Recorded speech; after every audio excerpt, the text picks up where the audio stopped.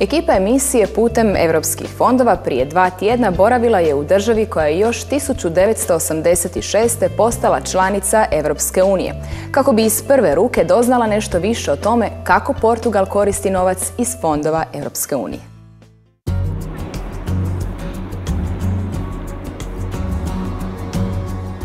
Boa tarde, hola, dobrodošli u Portugal, zemlju velikih istraživača, ali i zemlju koja je u najvećoj gospodarskoj krizi u posljednjih 40 godina. Pa ipak, zahvaljujući fondovima Europske unije, uspjeli su dodatno zaustaviti gospodarski pad.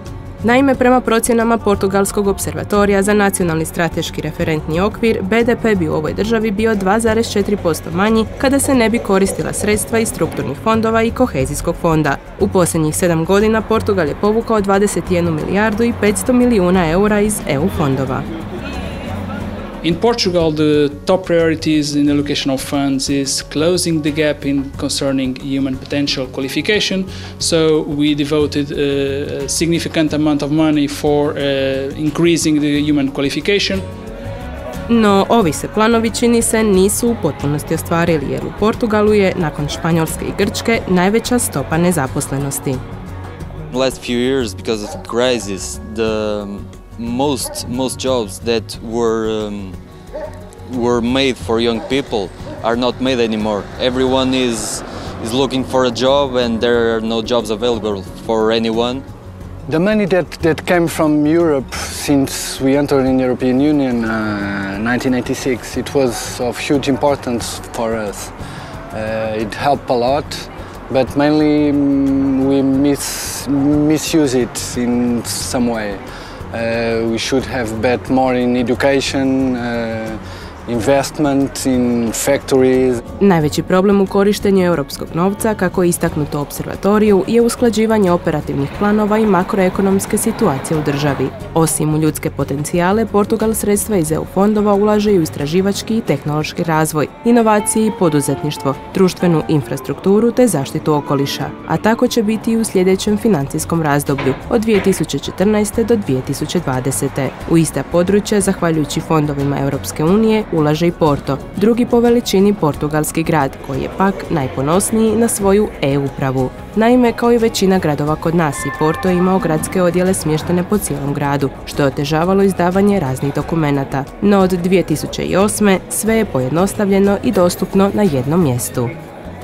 We had to look at all the circuit that a certain license, for example, took within the different uh, city services. And in order to make it rational not to have it going forward and backwards again and not having it um, using a, a, lot of um, time we have to change it all. And that means changing the uh, work that people were doing U Portugalu se mediteranski duh osjeti na svakom koraku. Ljudi su opušteni, a dogovoreni termini često služe tek kao okvirne vremenske odrednice. Portugalci su jako ponosni na svoju povijest, kulturu i jezik, pa tako tek rijetki znaju koju riječ više na engleskom. Kao i kod nas i ovdje je turizam jedna od glavnih gospodarskih grana, a centralizacija je i ovdje prisutna, čak i kad je riječ o europskim institucijama čija su središta u Portugalu. U Lisabonu su tako smješteni Europski centar za praćenje droga i ovisnosti o drogama, te EMSA, Europska agencija za sigurnost na moru. Obje institucije provele su nekoliko twinning projekata i projekata tehničke pomoći s hrvatskim partnerima. We have tried to help uh, Croatian authorities and administration to sit together with EU member states, learn from each other so that we can really bring all together expertise around one table and share experiences. Kad je riječ o sigurnosti na moru, u EMSI smatraju da je Hrvatska spremna za ulazak u Uniju, baš kao i observatoriju za nacionalni strateški referentni okvir kad je tema povlačenje sredstava iz EU fondova. I'm not able to give you any advice for Croatia. As I say, this balance between short term and long term and the key issue of institutional capacity in order to implementing the funds in the uh, strategic approach. I think it's, but um, I'm sure that the Croatian people will be able to, to find the good balance. Ohrabrujuće poruke Hrvatskoj mogle su se čuti i na portugalskim ulicama. Vindos a Croácia, à União Europeia, aqui em Portugal. Be patient with the European Union because the situation is complicated, but it will be better. Welcome to the European Union. Uh, Croatian, you are welcome in, uh, in uh, our community. So Portugal say hi and welcome.